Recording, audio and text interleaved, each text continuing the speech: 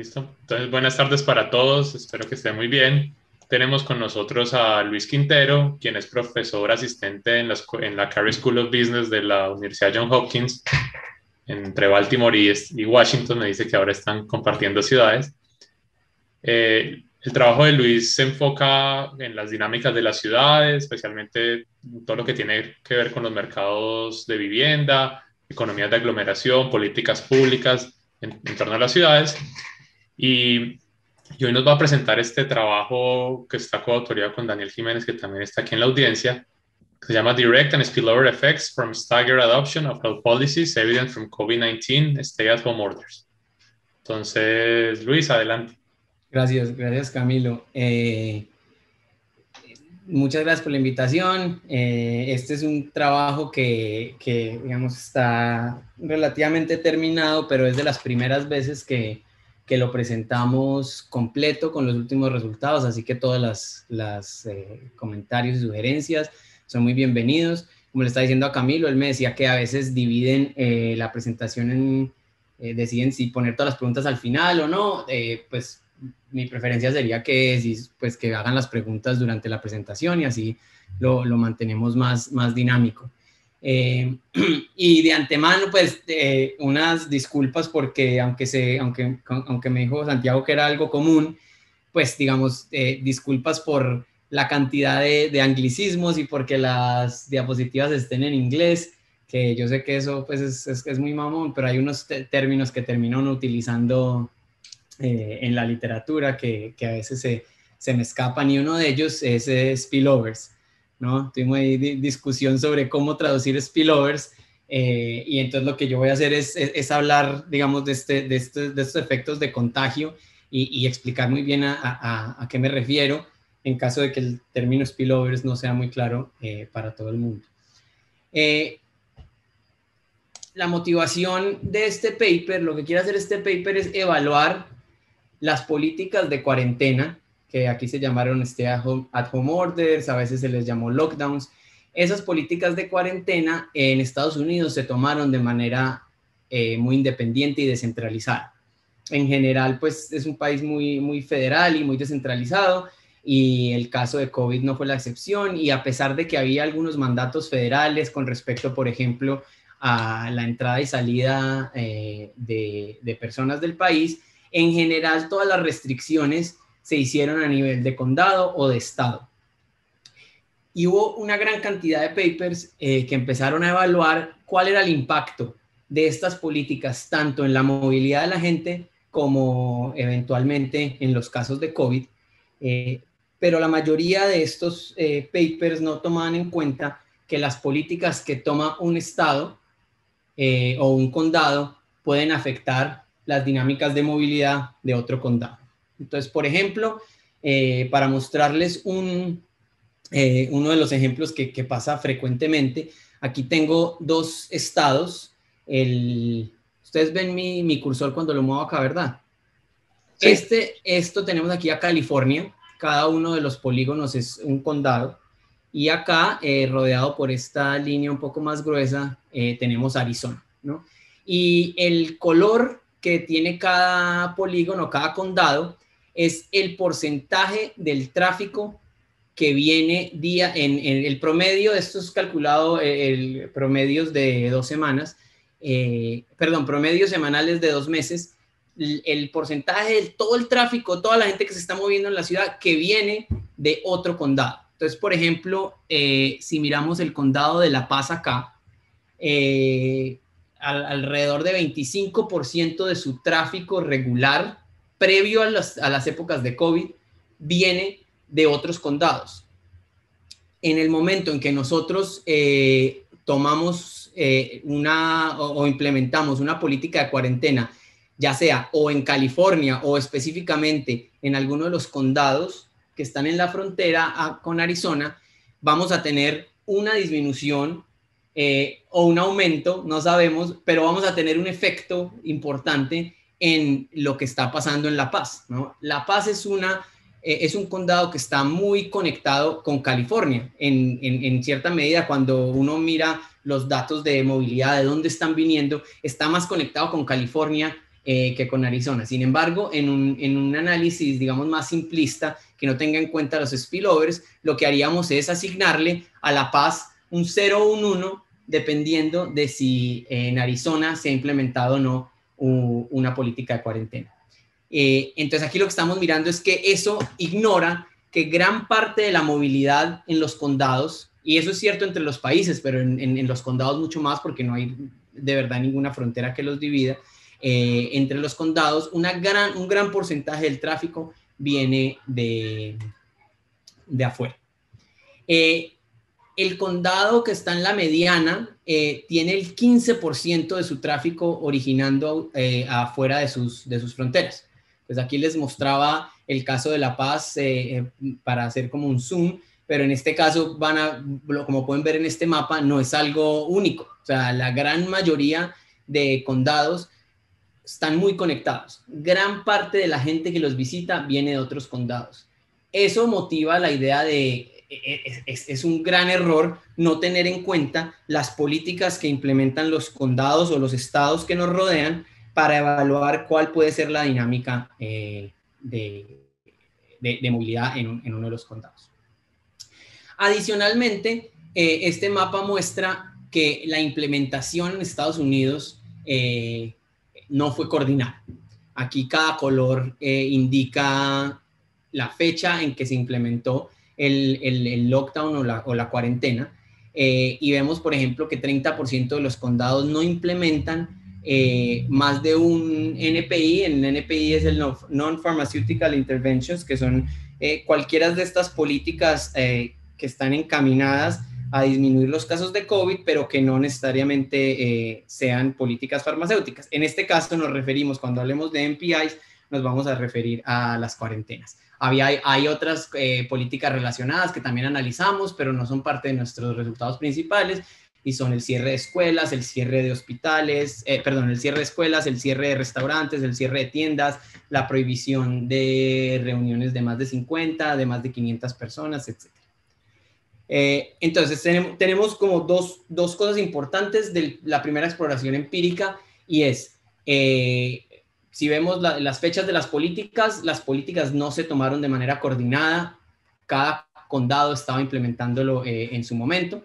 Y por otro lado, vemos que en general los condados tienden a estar muy conectados en Estados Unidos. Las diferentes ubicaciones son completamente dependientes y por lo tanto lo que la política de uno, uno esperaría que pueda afectar la de los demás.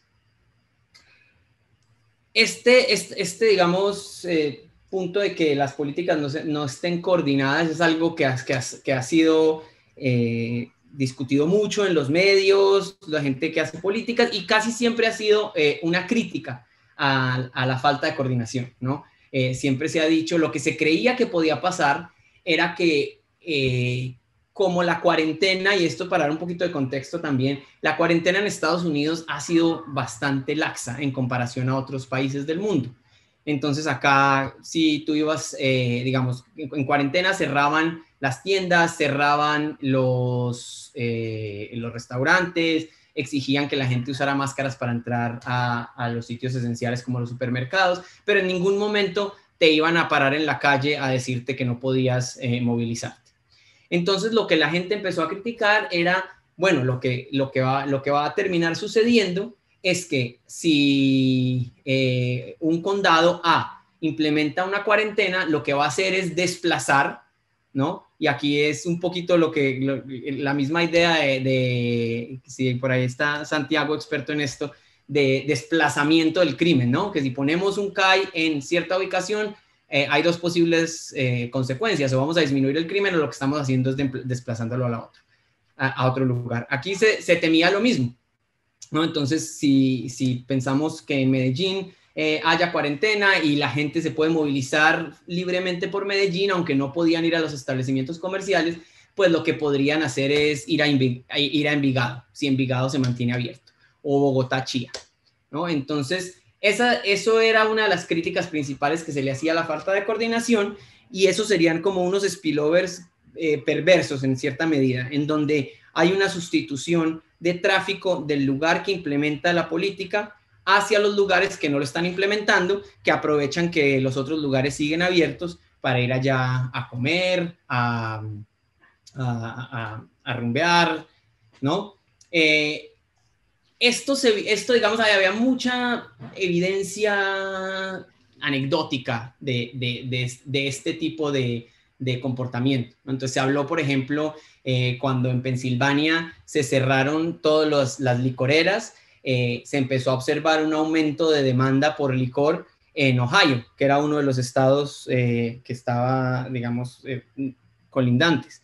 Y eventualmente Ohio tuvo que tomar las mismas decisiones porque estaba recibiendo muchos visitantes de un lugar como Pensilvania que tenía un, nivel de casos mucho más alto.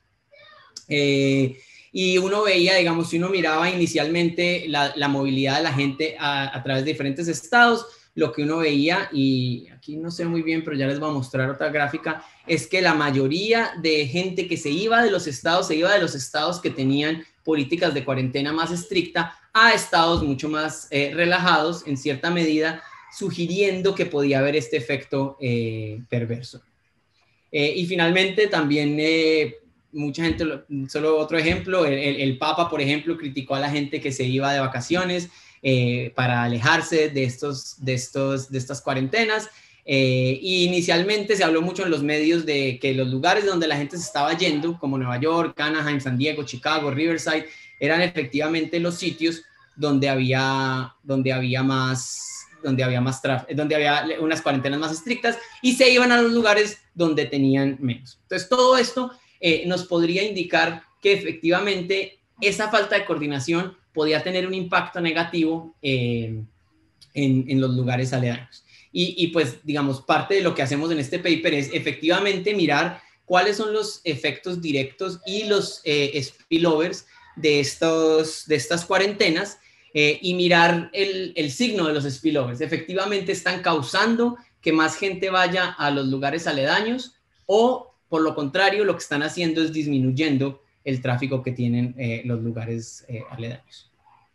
entonces, objetivo número uno del paper es estimar estos efectos de, de NPIs o las, cuarentenas directamente, en básicamente la, movilidad y segundo, eh, contrastar ese efecto directo con el efecto que tengan en, de los spillovers.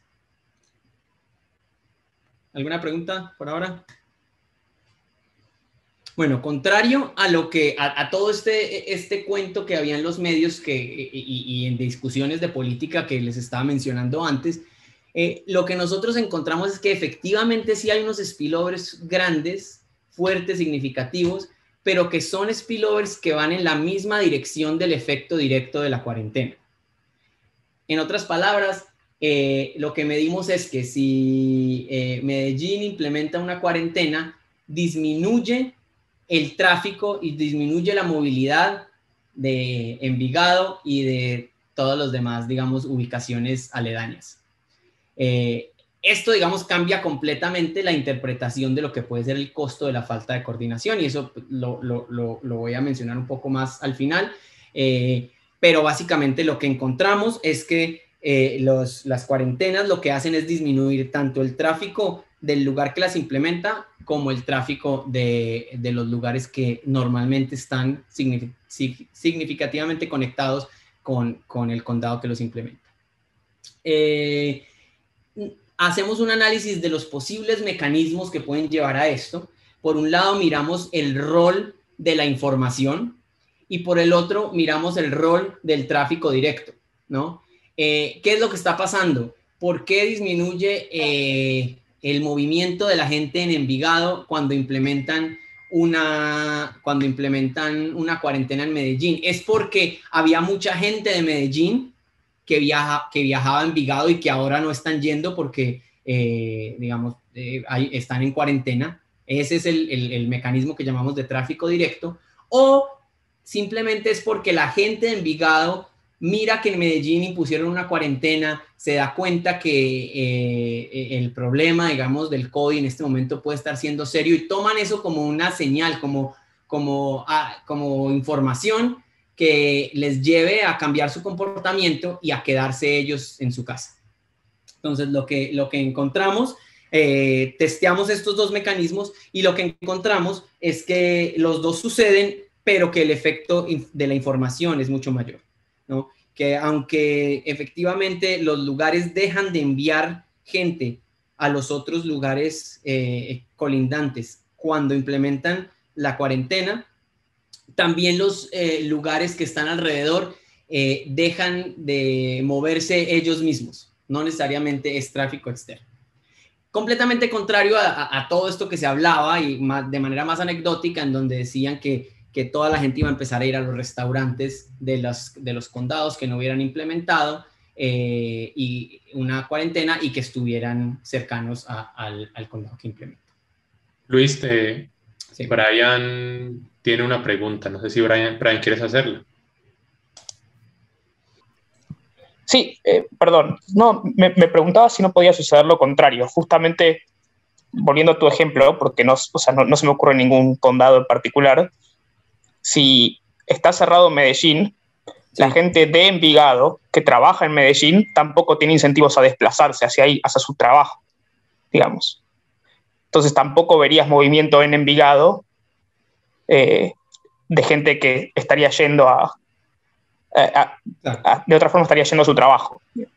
eso es otra cosa que puede suceder. Para aislar, digamos, el efecto eh, inicial y, efectivamente, digamos, hay, hay, una, hay, hay algo que no observamos eh, y es el, el, teletrabajo, ¿no? Pero, pero, digamos, lo que nos interesa es si la gente se quedó o no en su casa, independientemente de, si lo hicieron porque pudieron hacer teletrabajo. lo que nosotros hacemos en el, caso que tú estás poniendo, para aislar el efecto de información, es mirar solamente los, el cambio en los movimientos de la gente que vivía en Envigado y se movía a lugares en Envigado. Eh, el, efecto, el efecto final tendría ese, ese componente adicional eh, que, no, que no presentamos en, las, en los resultados finales, pero que de hecho podríamos mirar. Es un buen, una buena sugerencia. Okay. Porque si lo que estamos haciendo es, es, mirando cómo cambia el movimiento de la gente, eh, no de las visitas de Envigado a Medellín, sino el movimiento de la gente que vivía en Envigado y se movía en Envigado. Esa es, esa es la manera de, de, dividirlo en el segundo análisis que hacemos. Gracias. Ok, voy a pasar por, por, por, la, por el, la revisión de literatura eh, de una manera rápida eh, para que nos quede más tiempo para discutir los resultados del paper. Eh, este paper, digamos, está relacionado con, con, dos áreas de la literatura principales. Eh, la primera es el área que mide los posibles sesgos que pueden venir de la estimación del impacto de políticas cuando hay spillovers. ¿no? hay series de papers que han tomado papers que utilizaban como control eh, los eh, municipios o los estados colindantes o adyacentes eh, y han demostrado que en el caso en que haya spillovers, pues esto hace que ese control ya no sea un buen control y por lo tanto introduce un sesgo en la estimación de la política, ¿no? Si uno está utilizando el vecino como control y el vecino está recibiendo parte del efecto de la política, pues lo que estoy haciendo es introduciendo un, un sesgo en, en, la estimación de la política.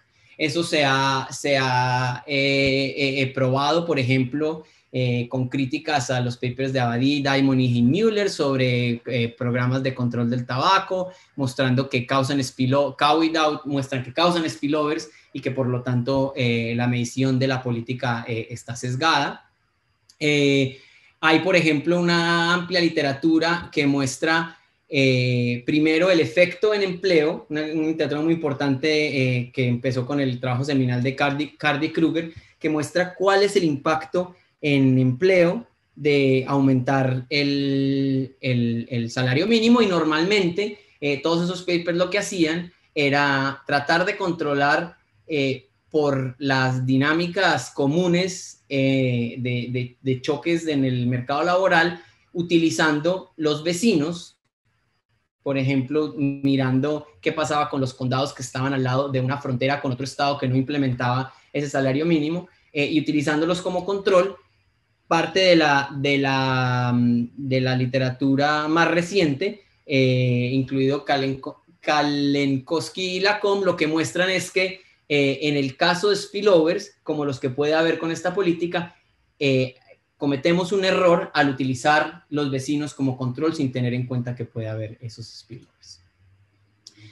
Eh, eso, eh, eh, digamos, similarmente se ha, tratado de, controlar en políticas de, regulación del trabajo, banca, prevención del, crimen, en donde muestran que efectivamente la evaluación de la política no está bien hecha y tiene sesgos cuando no se tienen en cuenta los, los spillovers. Eh, y, muchos, de los, muchos de los estudios eh, que tratan de hacer la implementación de política lo que han hecho es todo lo contrario, como el trabajo de Klein y Moretti. Eh, son papers que, que hacen evaluación de políticas de infraestructura, de construcción de infraestructura de transporte, por, por ejemplo, y lo que hacen es quitar, ¿no? quitar a los vecinos de la regresión por eso mismo, porque creen que hay spillovers y lo que quieren es aislar el efecto de la política. Entonces, lo que nosotros hacemos en, este sentido es eh, eh, tratar de hacer las dos cosas, ¿no? medir el spillover, no simplemente ignorarlo, compararlo con el efecto directo, eh, haciendo una regresión en tripletas que tiene una, una ubicación, un condado que es el que aplica la política, un condado que es el que va a recibir los spillovers, que es el condado vecino, y otro condado que esté menos eh, conectado, que es el, que llamamos eh, eh, el condado Hinterland o de frontera. por otro lado, está la literatura del COVID, ¿no? Y así me sentí yo cuando empecé a hacer la recolección, bueno, no solo yo, ¿no? Daniel estaba ahí y era, se volvió, inicialmente teníamos todos muy buenas ideas para hacer papers de COVID, eh, y, poco a poco la literatura se volvió eh, manejable en su volumen.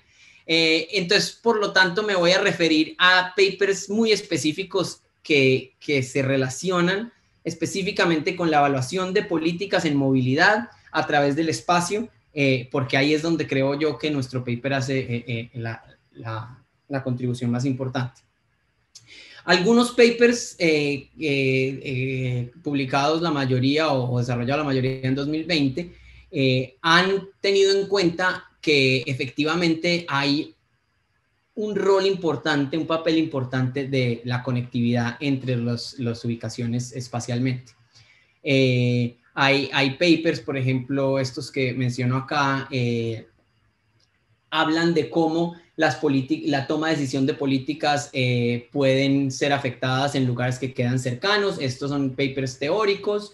Eh, Becky Wagner, por ejemplo, muestran eh, que puede haber spillovers a través de países cuando implementan políticas relacionadas con el COVID.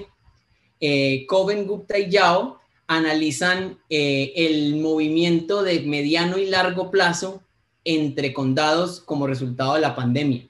Creo que todos oímos los casos iniciales que uno oía de los precios de la vivienda cambiando en Nueva York porque la gente se estaba yendo tratando de buscar lugares más amplios eh, y ellos muestran cómo efectivamente eh, a los lugares a donde la gente se iba dependían de la conectividad previa al COVID. Eh, hay, ah, hay, un paper eh, relacionado, Goolsby y Cyberson, que evalúan el efecto de, de las cuarentenas en zonas de, commuting eh, parecidas, pero a través de estados. Linan Meisner, por ejemplo, lo que hacen es estimar el impacto de las cuarentenas sin eh, incluyendo y luego sin incluir los estados aledaños, pero no miden eh, eh, la magnitud del spillover. y estos dos papers, Goldsby and Siverson y Lina Meissner, encuentran que los spillovers son o muy pequeños o inexistentes, ¿no? pero eso que ellos encuentran es efectivamente el resultado de utilizar eh, los vecinos como control. Es efectivamente lo que uno predeciría o lo, que sabemos dado nuestros resultados que pasaría si uno no tiene en cuenta los spillovers. Finalmente hay un paper eh, también reciente de Holtz y otros como, ¿no? como 10 autores más, Daniel, creo que son como 10, 11 autores más, en, En, en, PINAS, que es este, este, este journal, el Proceedings of National Academy of Sciences, eh, en donde eh, hacen algo similar a lo que hacemos nosotros con algunas diferencias que son significativas y que de hecho los llevan a eh, tener conclusiones diferentes. Ellos encuentran, por ejemplo, que hay spillovers en la misma dirección o en, la, o en direcciones diferentes dependiendo de la especificación que utilicen. Eh, y, nosotros discutimos en el paper varios detalles eh, de por qué nosotros eh, corregimos ese problema. Parte de eso es porque ellos no tienen en cuenta las, las tendencias regionales diferenciadas. lo segundo es porque utilizan una agregación de cuarentenas, no, utilizan, no lo utilizan de manera discreta, sino que lo, lo, lo miden de manera continua. Y nosotros mostramos que el efecto de las cuarentenas al medirse de manera continua eh, tienen un efecto muy grande inicial y luego tienen un cambio, lo que hace una discontinuidad en cero, eh, una no linealidad que efectivamente, eh, erróneamente, cambia el signo. Y, adicionalmente, hacen una normalización errada de los datos direccionales. Creo que hasta ahora no he mencionado de dónde vienen nuestros datos y cómo sabemos que la gente está conectada o no. Ya les voy a hablar un poco de los datos. Nosotros utilizamos datos eh, de movilidad de celular. Eh, eh, los datos de movilidad de celular tienen un problema que ha sido descubierto en cierta medida porque estos datos se utilizaban mucho menos antes del COVID, pero la literatura ha demostrado que cuando disminuye la movilidad de la gente, muchos de estos celulares, cuando se queda la gente en la casa, no emiten señales y por lo tanto salen del, del, sample, salen del, pool de aparatos que se observan. Y este paper, digamos, eh, hace una normalización que utiliza el número de aparatos observados diariamente eh, en el denominador, eh, que efectivamente lo que hace es aumentar cuando más cantidad de celulares se están quedando en la casa, artificialmente, al desaparecer del sample, lo que ellos hacen en la manera en que utilizan el peso o eh, el control es que hacen que aumente eh, la medición, la medición de, visitas. Eh, les vamos, voy a hablar un poco más de eso cuando discuta mis, mis, resultados. Bueno, rápidamente, ¿cuáles son los datos que estamos utilizando? utilizamos datos de SafeGraph. Eran datos que originalmente eran bastante difíciles de conseguir eh, y muy caros porque la mayoría de clientes para esta compañía eran empresas privadas. Eh, tan pronto arrancó la pandemia, eh, ellos quisieron aumentar su visibilidad y empezaron a, digamos, a, dejar que la gente accediera a ellos muy fácilmente. Entonces, digamos, si están interesados ustedes en trabajar en cosas de movilidad, pues solo están limitados a, a, tener datos de Estados Unidos pero, pero SafeGraph, digamos, tiene muy buena cobertura, eh, han mejorado mucho eh, la manera en que distribuyen sus datos y están eh, libres con básicamente una carta en donde uno describa un poco cuál es el proyecto que uno quiere hacer. estos, estos datos más o menos son el 16% de todos los teléfonos inteligentes de Estados Unidos. si uno mira, por ejemplo, enero del 2020 son 45 millones de, de teléfonos rastreados. Eh, te da la información sobre todas las visitas de esos teléfonos diariamente a los diferentes establecimientos comerciales. Establecimientos comerciales tal vez no es, no sé si sea el, el, la mejor término, como ellos lo, lo, denominan, es puntos de interés.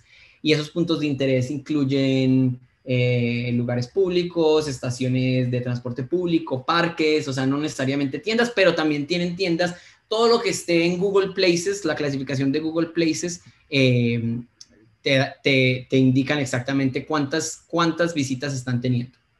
Eh, y esta, esta digamos, se ha, demostrado que, el, cubrimiento es muy homogéneo y, muy alto en todas las eh, ubicaciones de Estados Unidos, no solamente en los lugares urbanos.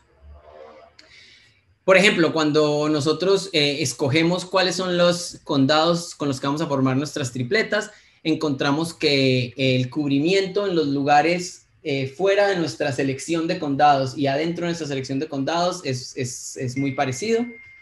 Eh, adicionalmente utilizamos otras dimensiones de los datos. Eh, una de ellas es la dimensión que te indica dónde vive la persona y con esa, de esa manera es que determinamos todo lo que llamamos tráfico direccional, ¿no? Determinamos dónde vive la persona mirando dónde pasa la noche, más o menos de entre 6 y 7 de la mañana, el lugar más común en donde está de 6 a 7 de la mañana, en un periodo de, eh, por lo menos 6 semanas. Y esto está disponible a nivel de Census Block. Cuando utilizamos esto, entonces, para mirar eh, aproximadamente dónde se ubican eh, los, los aparatos y si están viajando a lugares que están en el mismo census block donde viven o, hacia afuera. Eh, y, medimos ¿no? la conectividad entre dos lugares, entre dos condados, un condado de origen y uno de destino, mirando la cantidad de visitas en cierto periodo, digamos, generalmente lo medimos entre marzo y abril en el 2019 para tener para entender, digamos, cuál es el tráfico entre dos ubicaciones, teniendo en cuenta eh, que sea el mismo periodo del año en donde lo queremos eh, medir en el 2020 durante la pandemia, pero en eh, un momento prepandemia. Y lo que hacemos es sumar las visitas que tienen origen en el condado A y que van a sitios, a puntos de interés en el condado B, más las visitas del condado B al condado A divididos por la suma de todas las visitas con todas las demás posibles condados que hay. Y eso nos da nuestra medida de conectividad. Eh, adicionalmente, utilizamos, eh, recopilamos datos de las políticas. Eh, no, no hay de verdad una fuente oficial de los datos de cuarentena, eh, hay, hay, dos fuentes importantes, que es el Johns Hopkins Coronavirus Resource Center y Keystone Strategy, y lo que hacen estos dos, estas dos fuentes es em, sacarla de los medios de comunicación. Básicamente hacen scraping de, los, de las noticias, de los sitios de noticias, y ahí eh, encuentran cuándo es que cada uno de los condados y estados implementaron un, un, lockdown, una cuarentena y cuándo lo quitaron. Eh, Luis, eh, Mónica tiene una pregunta a ti. Mónica. Luis, mi pregunta es si, si ustedes hacen test para verificar eh, si los spillovers son mayores cuando vienen de condados urbanos que cuando vienen de condados rurales. Eh, Sí, lo que estoy pensando es, por ejemplo, Davidson County en Tennessee eh, va a tener un efecto mayor en los condados alrededor que, por ejemplo, un Hamlin County, que es eh, un condado predominantemente rural. Y, crees que tú dices por, la, por los niveles de conectividad, ¿verdad? Claro, y pues porque, exacto, exacto, porque zonas rurales están menos, menos conectadas con otros, con otros condados, pero también dentro de sí mismas. Entonces, eh, eh, sí. Pues nosotros eh, no, no hemos, hemos testeado dividiendo, de hecho, no en este paper, sino en otro paper en donde estábamos mirando las dinámicas de movilidad en reservas indígenas, urbanas y rurales. Ahí no encontramos ninguna diferencia en este caso, lo que vamos a hacer, y pues ya te, ya te muestro los resultados, lo que vamos a hacer es que en unos casos vamos a utilizar pesos eh, de conectividad. En la observación le vamos a dar el peso dependiendo del nivel de conectividad que tienen eh, los dos condados que estamos midiendo. Y cuando comparamos esos resultados con los resultados sin pesos, obtenemos lo mismo. Lo que nos dice es que no necesariamente el efecto está viniendo solamente en los lugares que tienen alta, alta conectividad. Entonces, efectivamente, digamos, las, diferencias absolutas en tráfico eh, cambian dependiendo de si el lugar es más o menos conectado y más o menos poblado, pero en términos del, cambio porcentual, estamos mirando que, que, no viene necesariamente solamente de los lugares eh, que estén muy conectados. Y, yo diría que lo que pasa es que en Estados Unidos, aún los lugares poco conectados, están bastante conectados. Digamos, si uno ve los datos, hay, hay, hay pocos condados realmente aislados. Nosotros estamos hablando aquí de, de Estados Unidos continental, digamos, no estamos utilizando Hawái, ni, ni, Alaska, ni Puerto Rico. Y, en lo que miramos es que los condados son, son bastante conectados, aunque hay diferencias.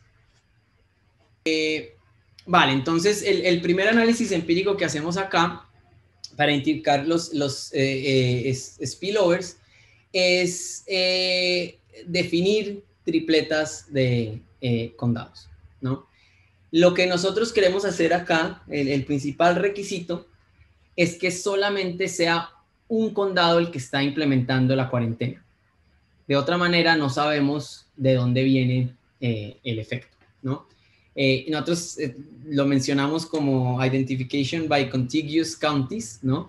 pero básicamente lo que estamos aquí haciendo es, las tripletas juegan el rol de la ubicación tratada, la ubicación que recibe el spillover y la ubicación de control el, supuesto crítico aquí de identificación es que los condados que están ubicados cerca el uno al otro eh, están atravesando la misma dinámica de COVID en cualquier momento del tiempo, eh, entonces, eso es lo que, lo que promueve que, utilicemos lugares cercanos como control eh, y también supone que los lugares que están más cerca reciben el spillover eh, con, mayor, con, mayor probabilidad que los lugares que están más lejos.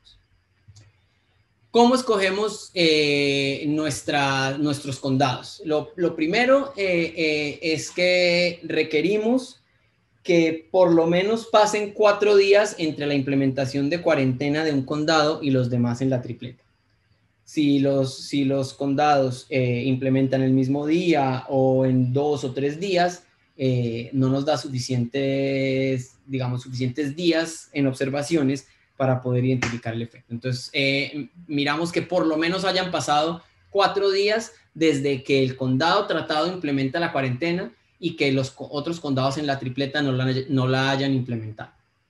esto lo hemos tratado con cinco días, con tres días, eh, y los resultados son, son robustos, ¿no? Eh, primero entonces identificamos entre estos eh, candidatos el condado tratado, que es el que adopte la, la, la cuarentena. Luis, perdón. Sí. Entonces aquí el supuesto es que el spillover muere después de un condado no necesariamente. Sí, aquí el, aquí el supuesto eh, es, que, es que el spillover muere después de un condado o por lo menos disminuye significativamente. Y, eso es, digamos, lo, lo que miramos. Ah, Brian, creo que Brian levantó la mano. Sí, perdón. usando este, esta, este diseño, ¿no? En el cual como que mm, eh, solo se enfocan en, condados cuya diferencia en la implementación de políticas es mayor a cuatro días. O sea, igual cuatro días me parece poco, pero mi pregunta es si no podrían estar quedándose justamente con los condados donde, donde podría haber menos spillovers. Como que me pregunto si condados que están muy conectados no tomarían no sería más probable que tomen decisiones conjuntas también. De acuerdo. Y eso, digamos, es, es hasta, digamos, el, digamos, el, extremo del ejemplo que estás poniendo es eh, cuando implementen la política el mismo día, ¿no? Eh, y eso, digamos, sucede, aunque, aunque no sucede en todas partes, eh, eso sucede en muchos condados y en ese caso no, no, nosotros no podemos medir el, el spillover, no lo podemos diferenciar de, del efecto, digamos, directo de la, del, del, propio, de, la propia cuarentena. Lo que nosotros, ahí les voy a mostrar que en, las especificaciones donde incluimos eh, el efecto de, de la cuarentena eh, después de cuatro días, eh, de todas maneras, digamos, se, tiene un efecto acumulativo, pero, pero nuestro interés al escoger estas tripletas es efectivamente aislar el efecto, y, tal vez cuatro días pueda ser poco, y lo hemos hecho cinco o seis días, los resultados son muy, muy parecidos. entre, más, entre más cantidad de días requerimos de diferencia, más pequeño se vuelve la muestra. Entonces, eh, sacrificamos un poco de, digamos, eh, validez externa por validez interna, en cierta medida, por identificación. Ok, gracias. Ok, el, entonces el, vecino, el condado vecino, es el que está eh, adyacente al condado tratado, pero que no adopta una cuarentena, por lo menos hasta cuatro días.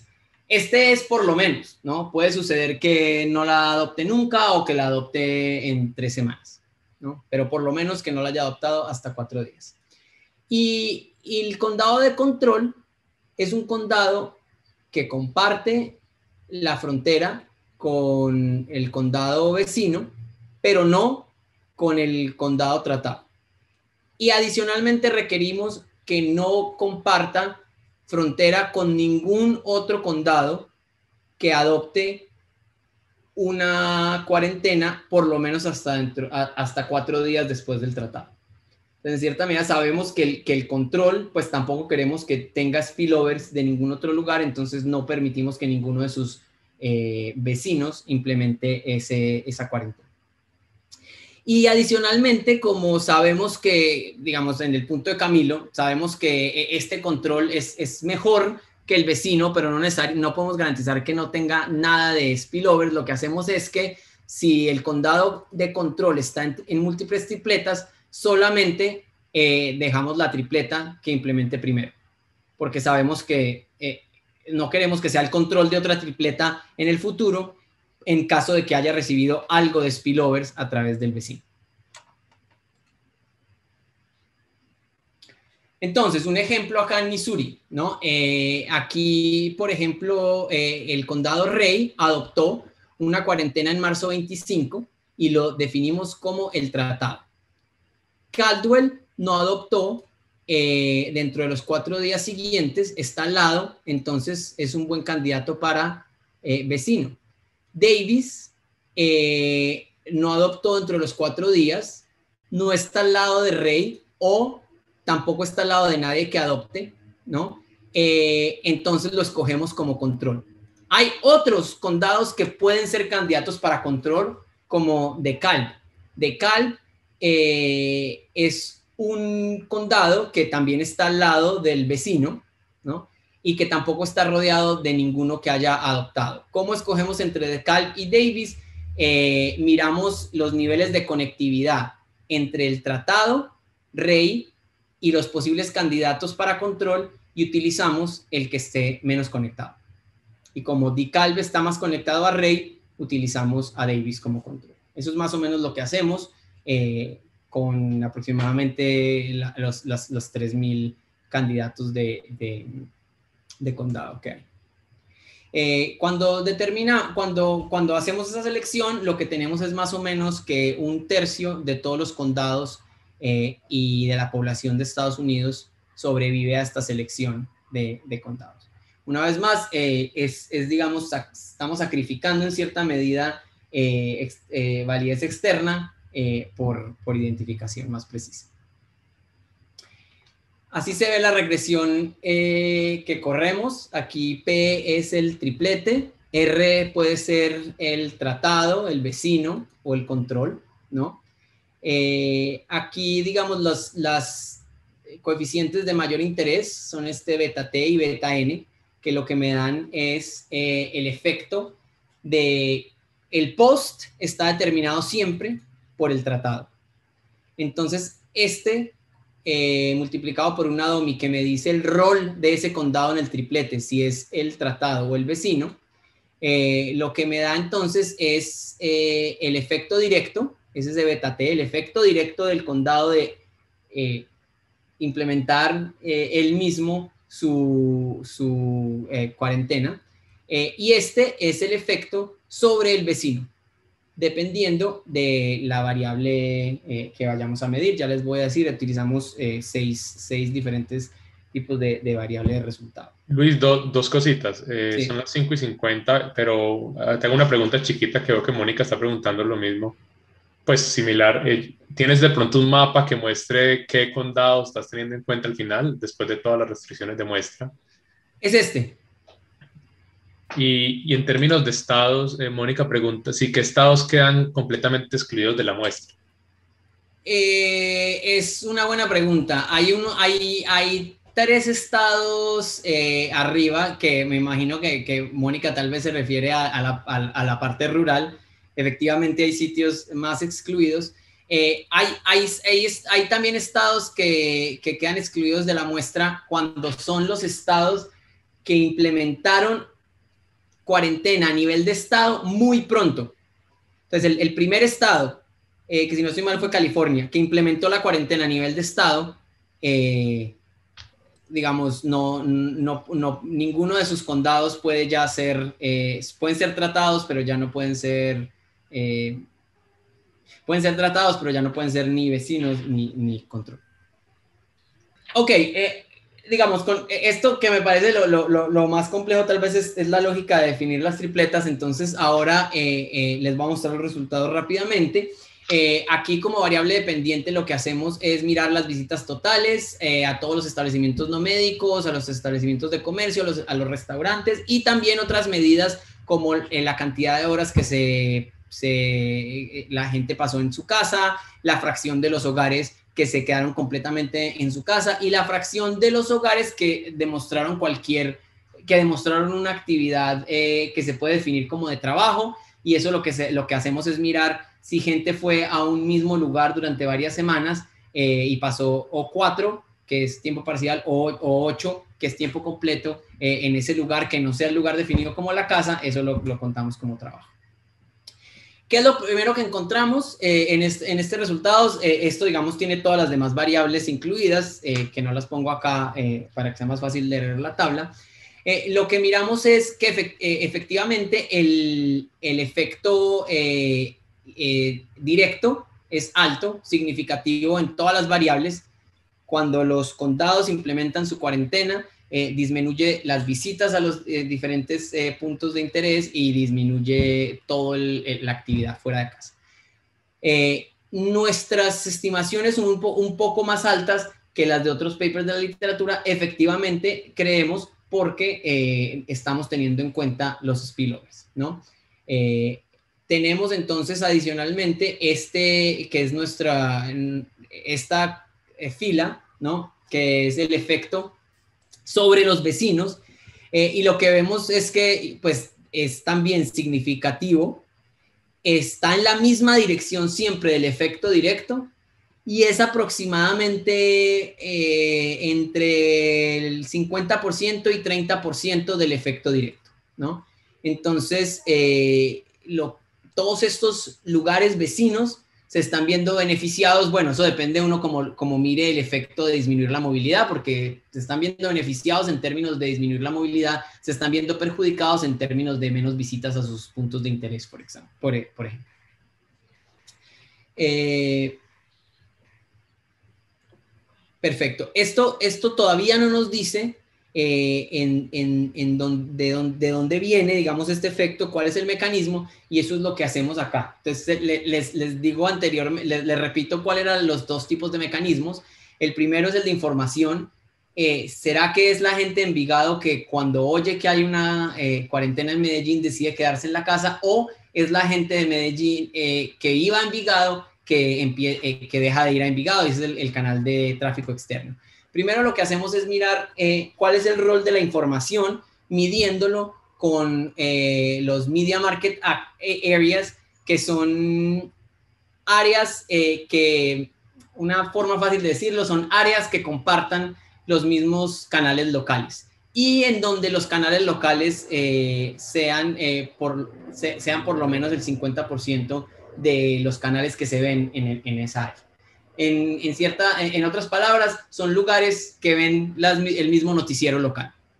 Y a pesar de que todos nosotros ya probablemente lo hacemos a través de Internet, tenemos evidencia eh, que muestra que más o menos la mitad de los hogares todavía ven sus eh, noticias a través de estaciones locales. Lo que hacemos es exactamente el mismo diseño y dividimos la muestra en, dos. Uno en donde el vecino y el, y el tratado compartan el mismo mercado de, canales y otro en donde eh, sean diferentes.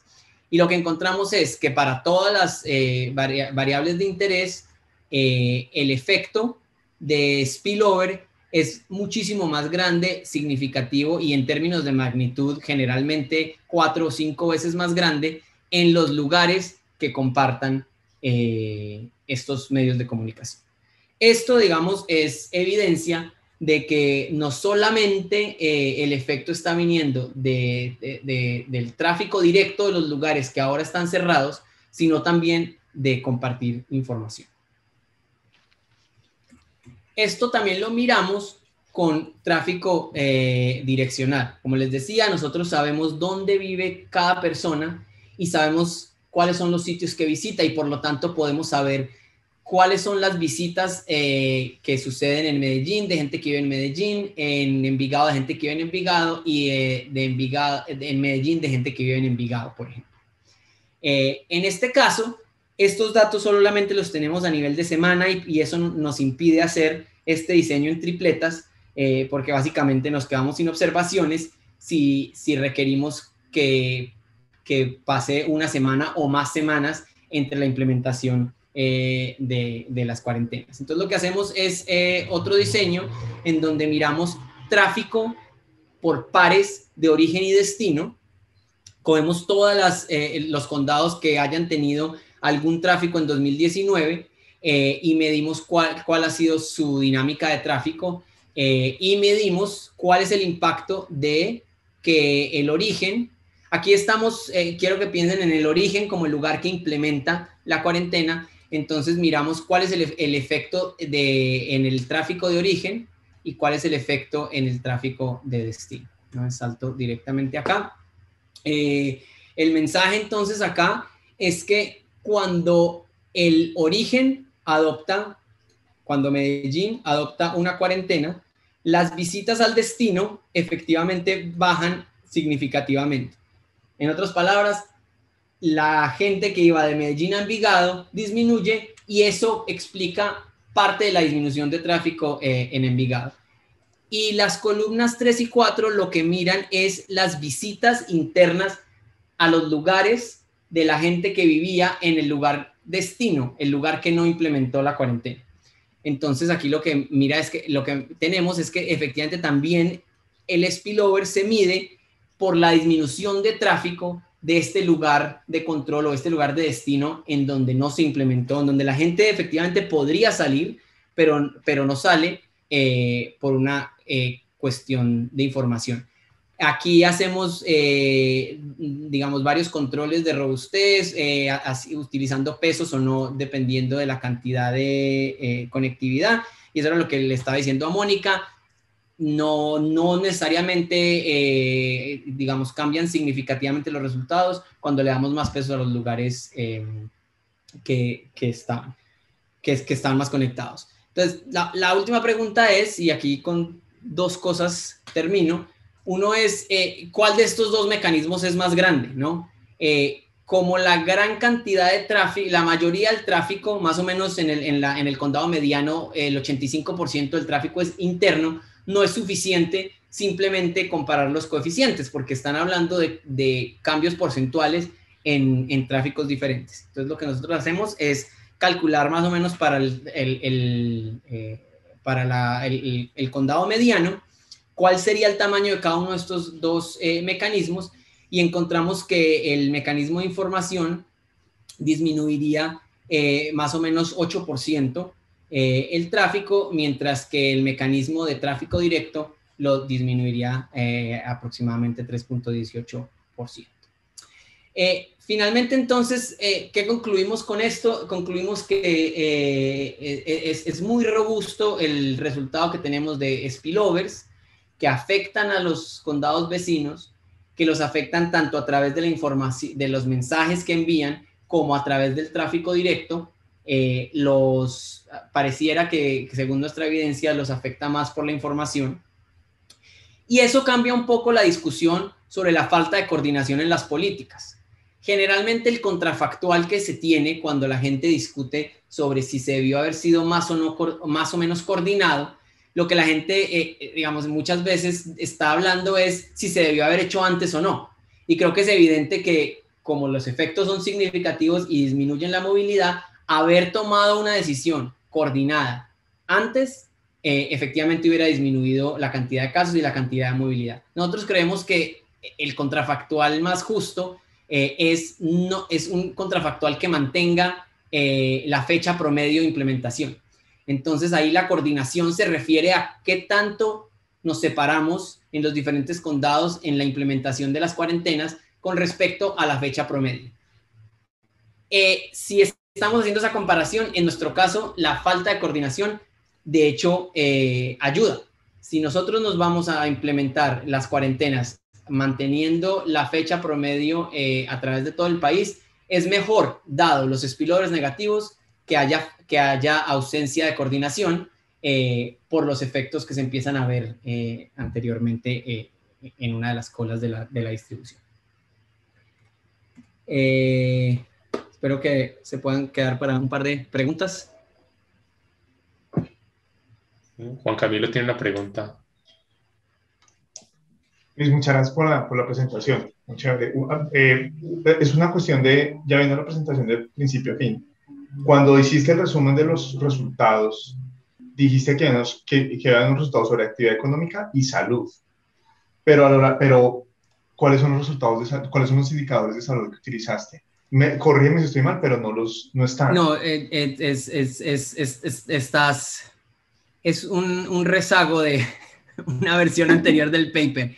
Listo, eh, cuéntanos un poquito ahí al respecto, porque cuáles son como esos indicadores. Es que, es que me gustaría... No, digamos, de acuerdo. Entonces, entonces, los indicadores en los que este, esta última versión del paper se enfoca es solamente indicadores de movilidad. Obviamente, digamos, las cuarentenas, ¿por qué se implementaron? Pues las cuarentenas se, implementaron para disminuir el contacto y los casos. Hay un montón de problemas eh, en la medición de casos, especialmente al comienzo de la pandemia. Eh, hay problemas también en el, rezago óptimo para utilizar en las regresiones, porque sabemos que el contacto se refleja en, una medición de casos eh, posterior. Y, eso nos llevó a dejarnos simplemente con el análisis de, movilidad. Y, digamos, pues hay muchos otros papers en la literatura que muestran que la disminución en movilidad estuvo reflejada en disminución de casos. Y entonces nosotros, digamos, nos, nos, enfocamos más como en el compliance de la política. O sea que definitivamente, o sea que el paper lo vas a enfocar definitivamente solo en movilidad, no vas a tocar los temas de, de salud no, No, digamos, tenemos ahí, eh, ahí tenemos eh, eh, la medición de visitas a restaurantes, de visitas a, a, establecimientos de comercio, de visitas a sitios de trabajo. Entonces, en cierta medida, digamos, es movilidad, es compliance de la política, es, digamos, una proxy también de actividad económica, pero efectivamente no, no, no, no, estamos midiendo los casos directamente. Listo. No, bien, listo. No, muchas gracias. Esa era como, el, como la, la, principal inquietud que tenía, pero gracias por aclarar.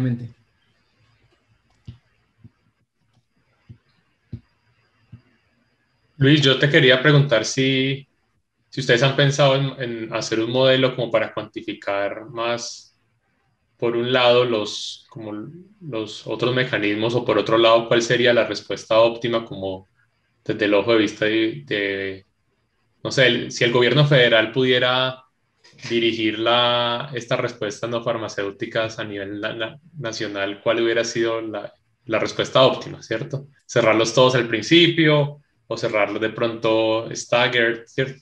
Sí. Eh, digamos, pues, la respuesta corta es eh, no en este paper. Eh, es, digamos, nos, nos, interesa esa, esa discusión y, y, lo que conocemos de la literatura es que el, el problema es que, digamos, ¿cómo vas a medir la optimalidad? ¿no? Entonces, lo que pasa es que los, los resultados son inequívocos en decir que si lo que te importa es disminuir los casos, eh, digamos, hay que hacer el cierre desde el primer día, digamos, porque el efecto es negativo, digamos, no hay, no hay, no hay ninguna, ninguna discusión en todos los eh, eh, resultados empíricos. Ahora, Si metes, digamos, un componente entre disminuir los casos y afectar menos la, la actividad económica, el, el, problema pues se vuelve mucho más, más, más complejo.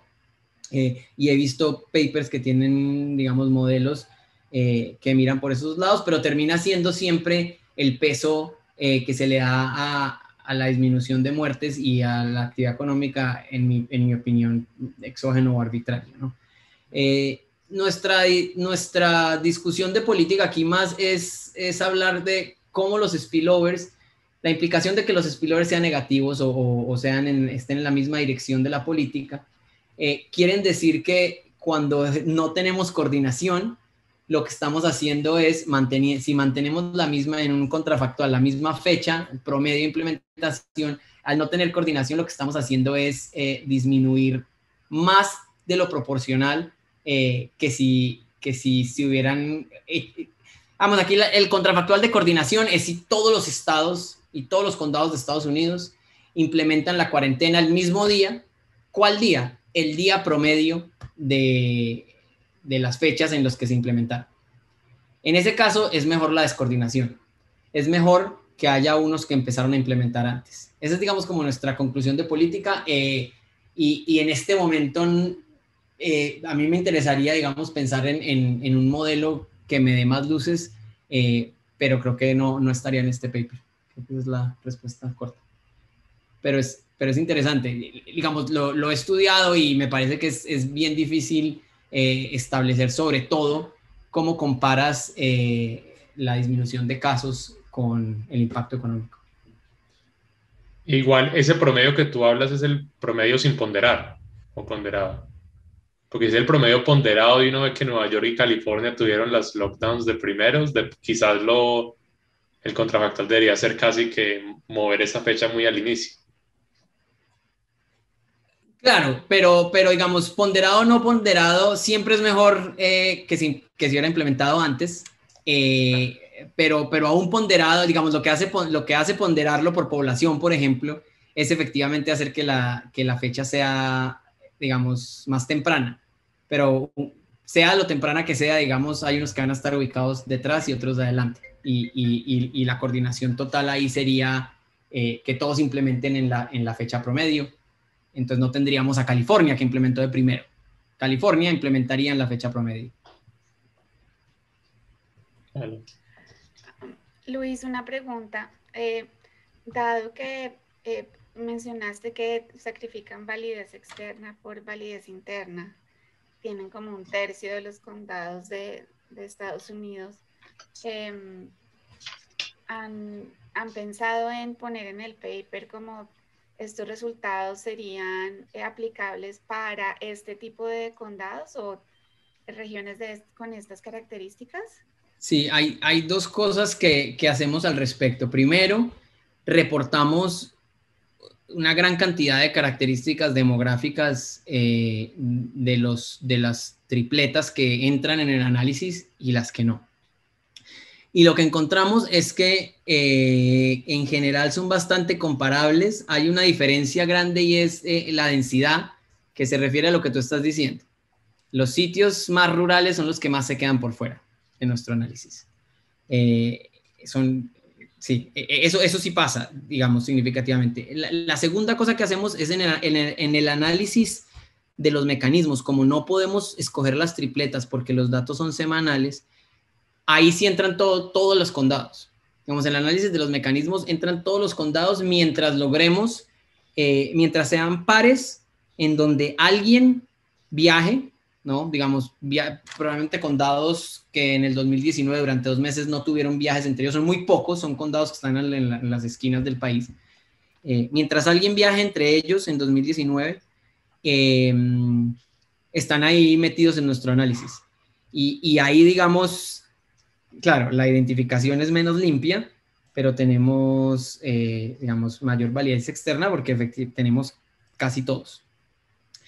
Eh, y los resultados son muy parecidos. Entonces, eh, pero claro, digamos, no quiero dejar por fuera, y de hecho es otra, otro eh, paper en el que estamos trabajando sobre reservas indígenas, que los lugares que son muy rurales, pues pueden tener dinámicas un poco diferentes. aquí pareciera que, que, no son tan diferentes a, diferencia de, un poco más de, ruralidad. Pero es un punto en, que, en el que hemos ¿no? tratado de, eh, digamos, nos estamos yendo al otro lado de, otros papers que lo que han hecho es meter todos los las condados en un mismo sitio y, medir el efecto eh, y ahí, digamos, pues tienes toda la varianza externa, pero pierdes un poco de identificación. Bueno, ya estamos pasaditos. Ah, no, perdón, dale, habla No, no, no, no, iba a decir que sí y gracias. Era lo que iba a decir. No sé si alguien tiene una pregunta adicional. Bueno, entonces muchas gracias Luis por la presentación, estuvo muy, muy bacana. Y también para recordarles a todos que este es el último seminario del semestre. Entonces nos vemos, creo que empezamos el 28 de julio la, la próxima serie y entonces los estaremos esperando con un, un muy buen invitado. Muchas gracias a todos. Chao, que estén muy bien. Gracias. Chao. Chao. Luis. Thank you.